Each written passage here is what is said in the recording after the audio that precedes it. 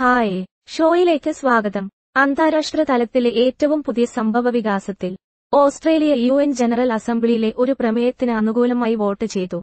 സംഘടനയുടെ പൂർണ അംഗമാകാനുള്ള ഫലസ്തീൻ ശ്രമത്തെ പിന്തുണയ്ക്കുന്നു.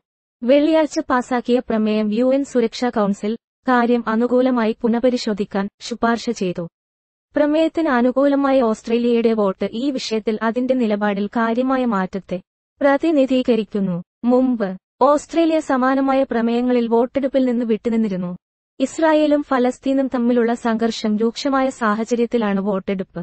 ഈ മാസം ആദ്യം വെസ്റ്റ് ബംഗ് നഗരമായ ജെനിനിലെ അഭയാർത്ഥി ക്യാമ്പിൽ നടത്തിയ റെയ്ഡിനിടെ ഇസ്രായേൽ സൈന്യം ഒമ്പത് ഫലസ്തീനികളെ കൊലപ്പെടുത്തിയിരുന്നു. റെയ്ഡ് അന്താരാഷ്ട്ര സമൂഹത്തിൽ നിന്ന് വ്യാപകമായി അപലപിക്കപ്പെട്ടു.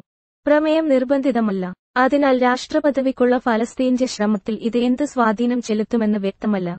എന്നിരുന്നാലും ഫലസ്തീൻ അഭിലാഷങ്ങൾക്കുള്ള പിന്തുണയുടെ ശക്തമായ സന്ദേശമാണ് ഇത് നൽകുന്നത്. ഫലസ്തീന് രാഷ്ട്രപദവിയെ പരമ്പരാഗതമായി എതിർക്കുന്ന അമേരിക്ക പ്രമേയത്തെ എതിർത്ത് വോട്ട് ചെയ്തു. ഇസ്രയേലികൾക്കും ഫലസ്തീനികൾക്കുമിടയിൽ ശാശ്വത സമാധാനം കൈവരിക്കുന്നതിനുള്ള ഏക പ്രായോഗിക മാർഗം. ദ്വിരാഷ്ട്ര പരിഹാരമാണെന്ന് അമേരിക്ക വിശ്വസിക്കുന്നു.